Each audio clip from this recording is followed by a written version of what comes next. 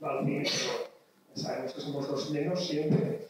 Eh, muchas gracias por estar aquí, muchas gracias por venir a esta película, mm, que es el tercer, el tercer pase que, que hacemos de, de Andaluz. Y bueno, no os voy a contar nada, porque están aquí los directores de la película, que luego son ellos los que les pueden contar alguna cosa interesante al respecto. O sea, les paso la palabra a Concha Barquero y Alejandro Morado. Muchas gracias, bueno, muchas gracias a todos por estar aquí, porque hoy además de fútbol hace un día fantástico en Madrid y hemos visto que está la calle y el retiro hasta arriba. Eh, muchas gracias al Círculo de Bellas Artes y a de Cineastas por, bueno, pues para coger esta iniciativa. Mm, nosotros estamos contentísimos y honrados de, bueno, de sumarnos hoy a, esta, esta, actividad, ¿no? porque eh, bueno, poner énfasis en uno de los pasos, de los puntos fundamentales del cine y de la producción del cine, que en definitiva la exhibición, ¿no? el contacto con el público. ¿no? Y, bueno, por eso estamos aquí, fundamentalmente para después, ahora no vamos a contar mucho, para después poder tener unos minutos ¿no? que siempre se reservan para, para ese, ese contacto y, bueno, para responder las preguntas que, que os sugieran, los comentarios que, que os sugiera este preparando. Muchas gracias. Y aquí vengo para eso, y a honrar el antiguo beso con los besos de tu boca. Sí. Acababa la película de etapas, luego a partir ahí siguieron pasando cosas. Me imagino que después de ver la película la gente le, puede generar cierta curiosidad qué son esas cosas que, pasaron después. Eh, por eso, otra, otra cosa que siempre pasa en los pases es que os preguntan siempre por, por ¿no? Entonces, bueno, eh, aparte de contar que cumplió 94 años hace tres semanas, eh, contaros un poco esas cosas que han pasado.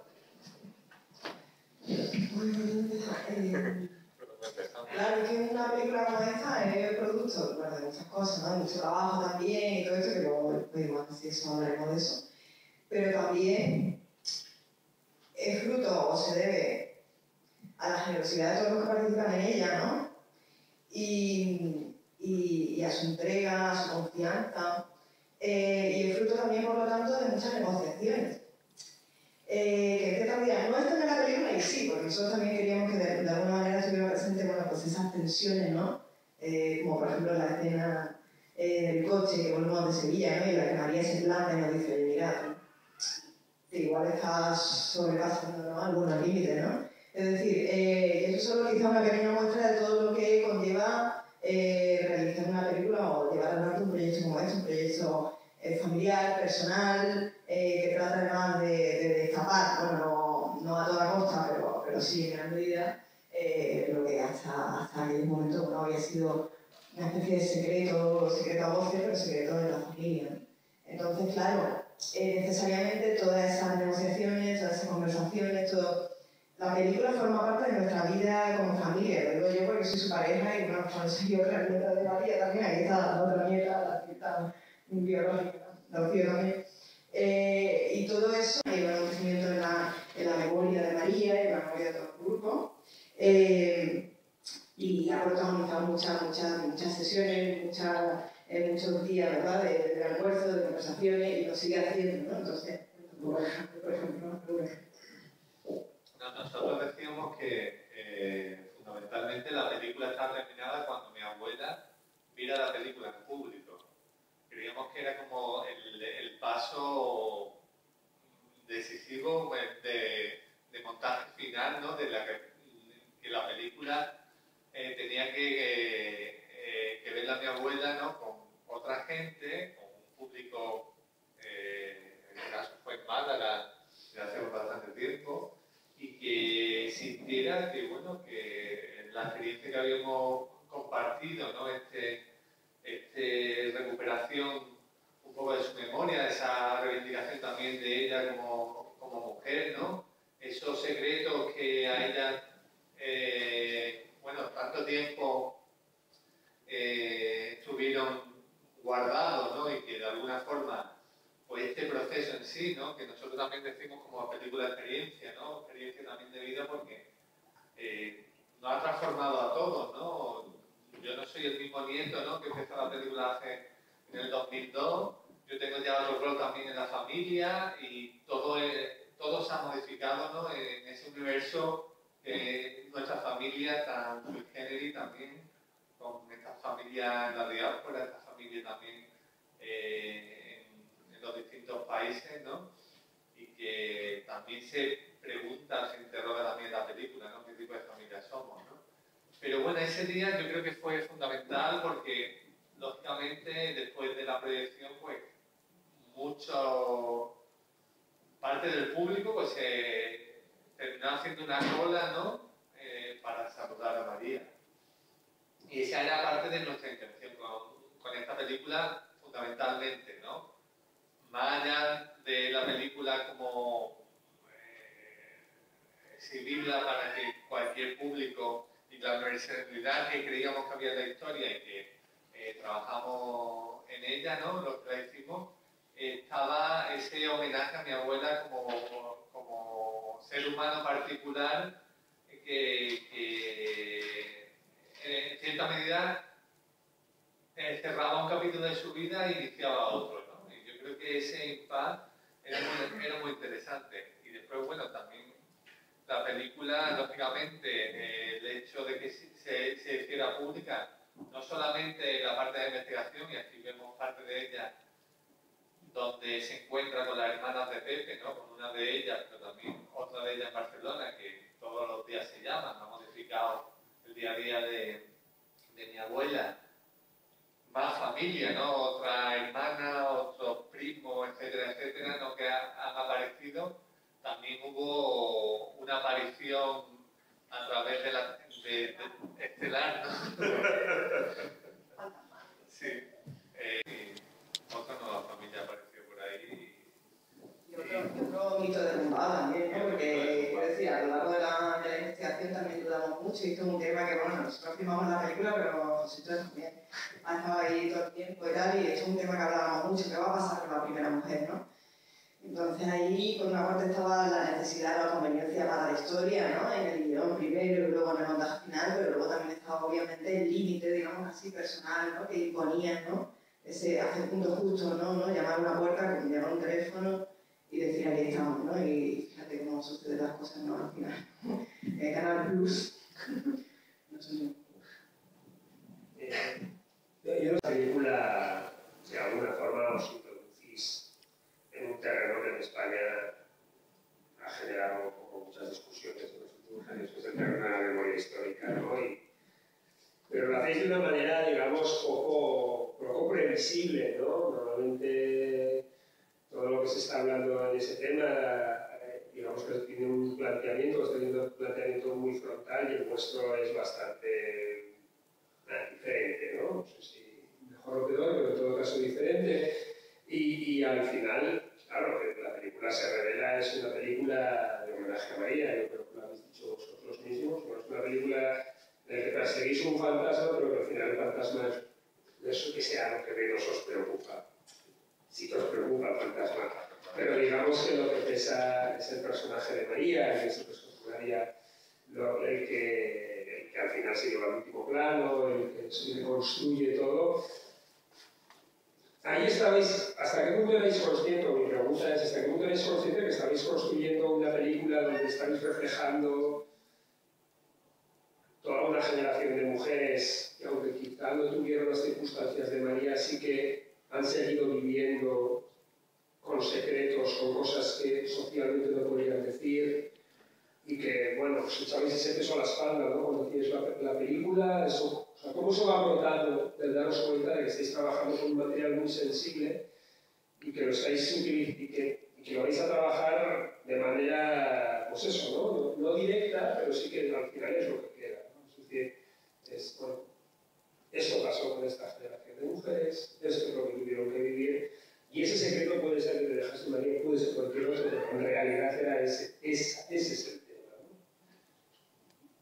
yo creo que el proceso mismo de la película es o sea, María casi que nos la encontramos. Quiero decir, obviamente, y ahí creo que en el desarrollo de la película está más o menos patente, ¿no? Es decir, que, que Pepe era, era el fantasma que perseguíamos y en el cambio de perseguirlo no, encontramos a María ¿verdad? y la redescubrimos, ¿no? Y bueno, y, ahí más bien debería hablar Alejandro, que para eso es su nieto y el que tendría una versión directa, de cómo había sido. Lo llevé. Ha llegado hasta aquí, gracias. Ha llegado hasta aquí, Una señal. Mm, quiero decir, eh, no lo sé, para mí desde luego fue un descubrir a María, o sea, eh, la historia de María tiene muchas contradicciones, ¿no? Porque Evidentemente, ella, una hija de, represaliado, eh, pierde a su padre y su madre bueno, pues sufre consecuencias de, de su tierno, eh, bueno, por, por los franquistas, ¿no? Y, y, luego ella, pues, pues no, prácticamente una posadolescente se enamora de Pepe que, que había luchado con, con los franquistas, ¿no? Entonces, ella encierra todas esas contradicciones, pero, pero sin embargo, el modo en el que ella eh, defiende su historia y la presenta es absolutamente natural, nada contradictorio, de alguna manera nos conducía ¿no? a no tratar de imponer como una tesis acerca de lo que nosotros creemos que es la historia y cómo debe resumirse, ¿no? de una manera simple, con el peligro de fuera simplificada. ¿no?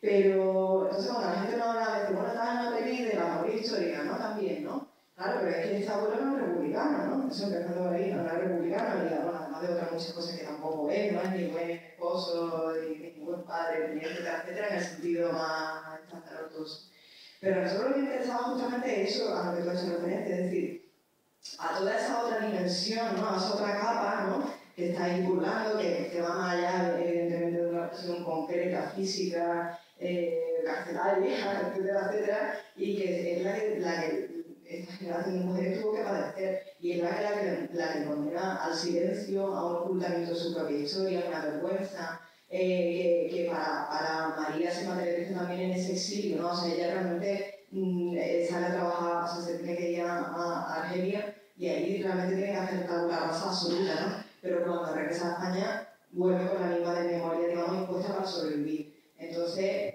creo que el proceso un poco fue... Eh, comprender, ir comprendiendo cómo funcionaba, cómo había funcionado, digamos, de alguna manera esa psicología tan perversa, ¿no? En María y de alguna manera muy consciente de que puede ser extrapolable, ¿no? Entonces, en, en la asociación de memoria histórica, a, todo, a, a, todos los niveles ¿no? de la sociedad, pues eh, este trabajo con esta microhistoria o esta pequeña historia de, de María, ¿no? Y creo que, que fue, bueno, pues ese cruce ¿no? entre el mito que buscamos de Pepe, que, era muy atractivo, ¿no? por, un encantador de, serpiente, de serpiente total, ¿no? y para nosotros era un personaje, ese fantasma, ¿no? y de pronto encontramos pues, bueno, pues, ese lado humano de la abuela que, que va desvelando poco a poco, no va haciendo su proceso, que al final era lo que nos parecía más interesante. ¿no bueno, de ese paso para adelante, ese paso para atrás, pero vamos para adelante y bueno, y también creo que ha tenido bastante que ver el tiempo que del proceso propio de producción, creo que nos ha venido bien a todos, a la película y a la familia. Y a María. Tu propio yo dentro de la película digamos, muestra una serie de contradicciones y los, los las expresas, ¿no? Eh, a mí siempre, o sea, la secuencia de cuando Pepe va a construir el pantano, y dices, bueno, aquí convivió, me gustado que, ¿no?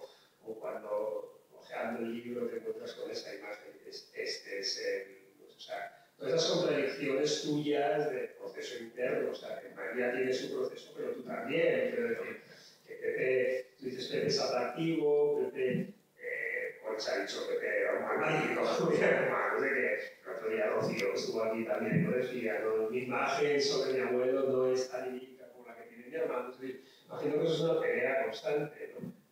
Sí, bueno, es lógico, eh, el mundo se pelea con sus personajes, pero, pero claro, aquí eso conlleva otra cosa. Totalmente, totalmente.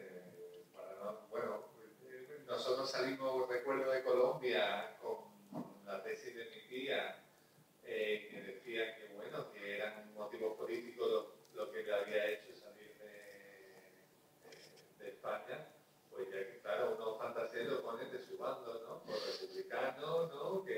que, era, que estaban los regulares, doble espía,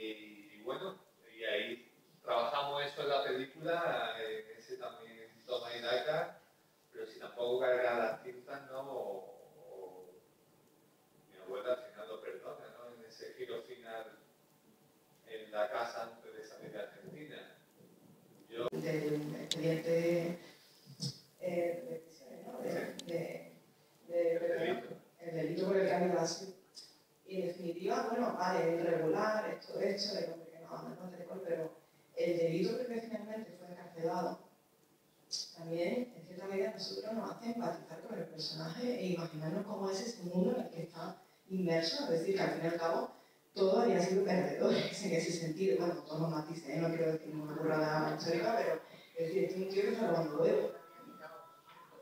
Post-franquismo o franquismo, perdón, post-franquismo, hubo mucha- muchas historias de estas. Entonces, yo lo que he sacado, sobre todo, la generosidad de la abuela.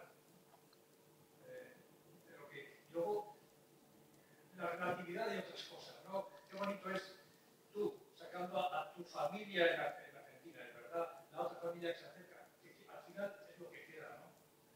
Olvidando otras cosas. Claro, en el proceso, una especie de piedra roseta, la escena, la entrevista mm, mía, ¿no? ¿no?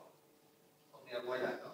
Yo creo que ahí esa, esa entrevista eh, explica muchas cosas de la película y explica justamente lo que has comentado, ¿no? Esa responsabilidad y ese, para adelante y a veces ir para atrás, ¿no? Que tampoco eh, hay que saber, ¿no?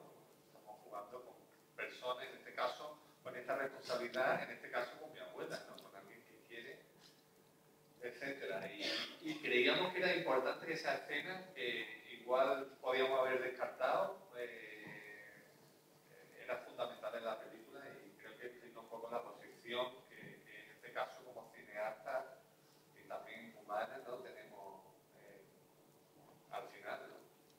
¿no? Es que muchas veces, perdón, te voy a eh, no respondo eso, pero que, que muchas veces María, claro, siempre decía, es que cuando, digamos, ¿no? Eh, se ponía un poco a la defensiva lo que fuera, ¿no? Porque había situaciones un poco más tensas. y Decía, es que esto es mi historia, ¿no? Y entonces muchas veces Alejandro decía, es que esto es un poco fuerte decir, pero es que no es solo tu historia. La historia dentro de la película que que venimos, bueno, se iba planteando a medida, ¿no? Pero justamente decimos, bueno, tenemos que hacer una película después de que volvemos de Argentina. Y, y una de las cosas que veíamos era que la película tenía que ser muy fragmentaria, ¿no? Con- trabajando, intentando reconstruir ese mito, ¿no? Que, que no llegamos a tener, a, a llevarlo a, a un cuerpo, ¿no? Eh, con los retrasos de fragmentos de la memoria de, de entrevistas, de recuerdos, de objetos varios y lógicamente también de, de la investigación que iniciamos, ¿no? Después de Argentina, eh, para buscar, bueno, que queda, digamos, en la memoria de, de los archivos sobre este pasado militar del abuelo, sobre este delito también que había cometido en, la posguerra y bueno, pues hicimos todo un proceso y también dónde estaba en Argentina, ¿no? Eso también fue como, como los tres ejes, ¿no? A través de la embajada, algunas personas que conocimos y él no aparecía en ningún lugar, entonces claro, ya nos quedaba solamente viajar a Argentina y, y a partir de ahí hacer también una serie de llamadas que vemos en la película tener la suerte de encontrar una pista justamente en el archivo, no, exacto, en el, en el registro civil de la ciudad de Buenos Aires, pero sobre todo lo que nos atienden era, fue un equipo que estaba allí trabajando el tema de los desaparecidos en Argentina. Y ellos los que nos dan acceso a, eh, a una base de datos de un ordenador y nos ponen